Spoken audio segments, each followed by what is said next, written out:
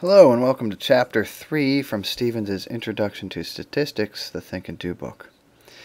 In this chapter we're going to look at various statistical tables and graphics.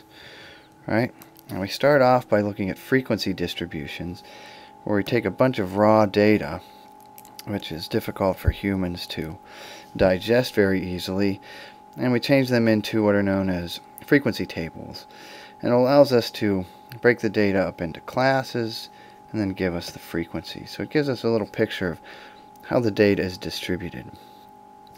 And then after that, we'll convert our frequency distributions into histograms, right?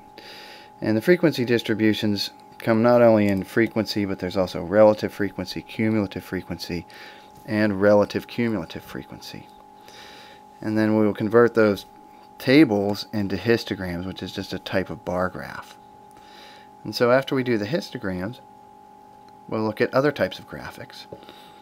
And the other types of graphics that we'll consider are bar graphs in general, stem and leaf plots, Pareto charts, pie charts, scatter plots, and time series graph.